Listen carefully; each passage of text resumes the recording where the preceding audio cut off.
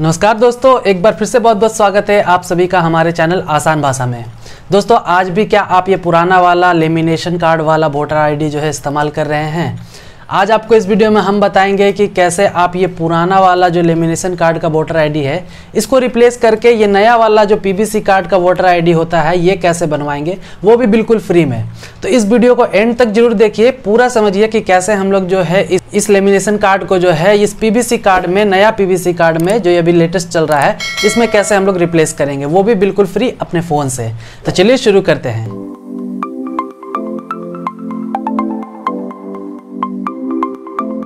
इसके लिए दोस्तों, आप लोगों को अपने फ़ोन में, जैसा कि आप अपने स्क्रीन में देख पा रहे हैं, आपको एक एप्लीकेशन दिख रहा होगा, वोटर हेल्पलाइन।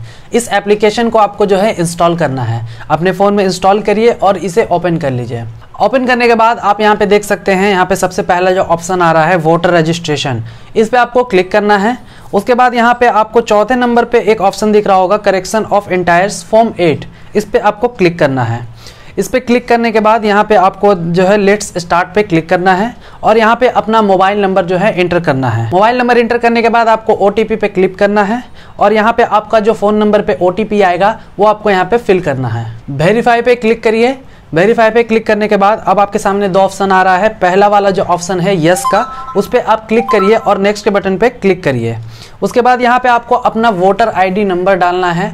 आपको अपना वोटर आईडी नंबर जो है बढ़िया से कैपिटल लेटर में जो है ठीक से फिल करना है। वोटर आईडी नंबर फिल करने के बाद आपको यहाँ पे फेस डिटेल पे क्लिक करना है और यहाँ पे लिख रहा है we found this record for your entire voter ID इस पर आपको क्लिक करना है और प्रोसीड पे क्लिक करना है।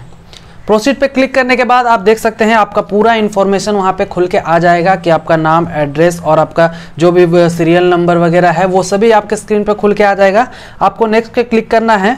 यहाँ पे दोस्तों आपसे जो है आपका आधार नंबर पूछा जा रहा है। अगर आपने अपने वोटर आईडी से अपना आधार नंबर अभी लिंक नहीं किया है तो आप यहाँ पर आधार नंबर अपना डाल सकते हैं। और नहीं आप अगर आधार नंबर डालना चाहते हैं तो आप यहाँ इस टिक मार पे क्लिक करिए। क्लिक करने के बाद आपको सिंपली यहाँ पर अपना मोबाइल नंबर डालना है।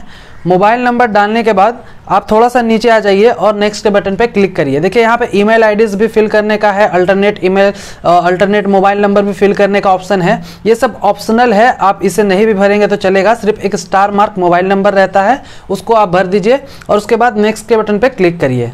यहाँ पे आपके सामने चार और ऑप्शन खुल के आ रहे हैं। इस चार ऑप्शन में से आपको क्या करना है? यहाँ पे जो थर्ड वाला ऑप्शन है issue of replace EPIC without correction ठीक है, इस पर क्लिक करना है और नेक्स्ट के बटन पे क्लिक करना है।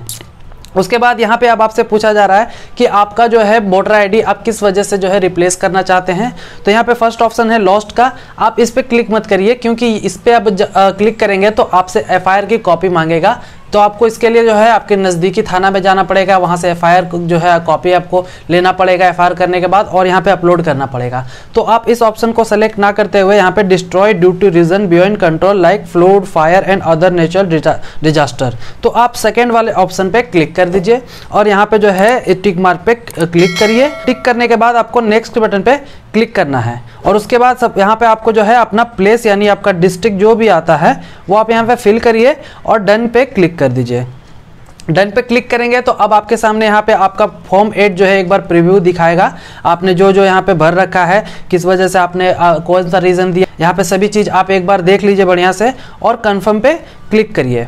कन्फर्म पे क्लिक करने के बाद आप देख सकते हैं आपके सामने जो है एक रेफरेंस नंबर जनरेट होकर के आ गया है। इस रेफरेंस नंबर से आप जो है ट्रैक कर सकते हैं कि आपका वोटर आईडी जो है कहाँ तक पहुँचा है, इसका प्रिंटिंग प्रोसेस कहाँ तक पहुँचा है, कब आपको कुरियर किया जाएगा। ये सारी चीज़ इन्फॉर्मेशन आप इस रेफरेंस नंबर से ट्रैक कर सकते हैं। तो ये बहुत ही आसान सा मेथड था। आप अपना ये पुराना वाला जो लेमिनेशन वाला वोटर आईडी कार्ड है, इसको आप आसानी से अपने नए पीवीसी कार्ड में जो है रिप्लेस कर सकते हैं। वो भी बिल्कुल फ्री में। उम्मीद है ये वीडियो आपके लिए बहुत ही हेल्प हेल्पफुल रहा होगा। अगर आपको इस वीडियो के माध्यम में कोई भी सवाल है तो नीचे कमेंट में ज़रूर लिखिए। और अगर वीडियो पसंद आया तो लाइक ज़रूर करिए और सब्सक्राइब करना ना भूलिए और बेल आइकन को दबाइए ताकि इस तरह के जब भी लेटेस्ट वीडियोज़ में अपलोड करूँ तो सबसे पहले आपको नोटिफिकेशन मिले।